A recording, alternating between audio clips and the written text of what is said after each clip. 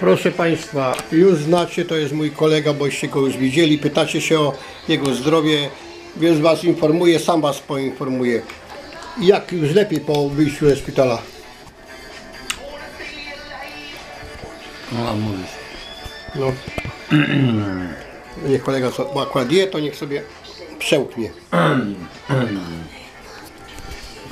To krótko, tylko 30 lat około. Byłem w szpitalach bardzo dużo.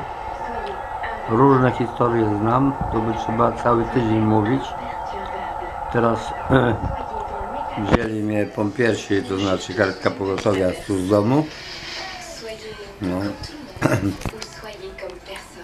No i trafiłem do, do szpitala, tak jakby powiedzieć do szpitala e, nie, nie w sensie piekła, tylko no, e, tak mnie wzięli w obroty, a wszystko mnie bolało, że się oni się nie, nie szczepią, że się boli czy nie boli, tylko mają to robią to co należy, bo to nie jest w domu, to jest szpital, obcy ludzie.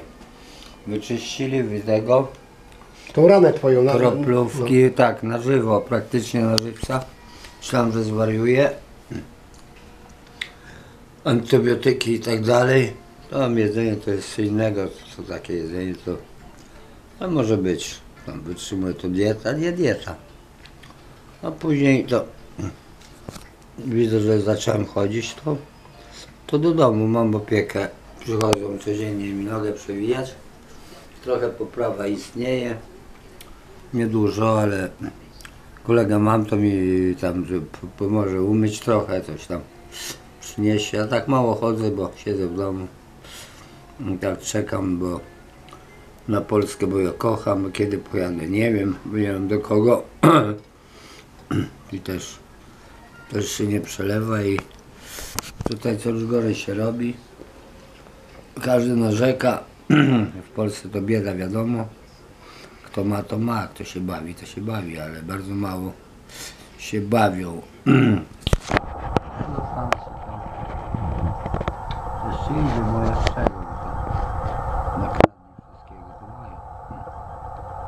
Na razie ciągle te strajki, mają na to pieniądze i strajkują i to wszystko, nie? I, wszystko i i to jest...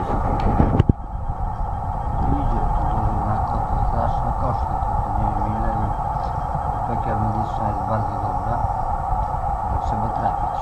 trzeba trafić. A Ty Trzeba trafiłeś, trafić, nie? Tutaj tu jest ta, która lewa noga, nie? Nie, no Lewa. to i tak nic nie widać. Nie widać, no. Bo to Ale było wtedy miałeś ciężko, no. No, tu mi się taka rana robiła. No to co, no to teraz kurde musisz e, dochodzić do siebie i najważniejsze, że noga uratowana, nie? Jeszcze nie wiadomo, tylko tak mówią. Aha. Może na pocieszenie, bo to tak, tak się mówi, żebyś się nie załamał. Żebyś się nie załamał, To tak? już też myśli samobójcze miałem, bo tak mnie bolało dzień i noc, że nie ma spania, więc zaczepiłem się alkoholu, bo już nie mogłem wytrzymać. Alkohol to nie wyjście, nie? Biorąc, zaraz, biorąc morfinę, biorąc wszystko takie mocne, dalej boli, więc czepiłem się whisky. Jak się upiłem, to dobrze, a jak się przetrzeźwiejesz, to znowu i to znowu choroba, to znowu na pieniądze nie chodzi, bo tam mam. Ale to znowu zdrowie. Papierosy też paliłem, rzuciłem, bo No i już dobrze. nie, nie mogłem już palić, bo, bo za dużo, mocne paliłem jakieś gówno, jako cygara. Nie zaciągając się, bo się nie da. Dziękuję, nie chcę mi się mówić. No to co widzicie? No to wszystkiego najlepszego widzicie. No Grzesiu widzicie, patriota mimo wszystko mówi, że w Polsce wolałby mieszkać niż tutaj, nie? Ale już się tak przyzwyczaił, człowiek się przyzwyczaja do tego wszystkiego, nie? Się nie da przyzwyczaić. Nie da się przyzwyczaić. No.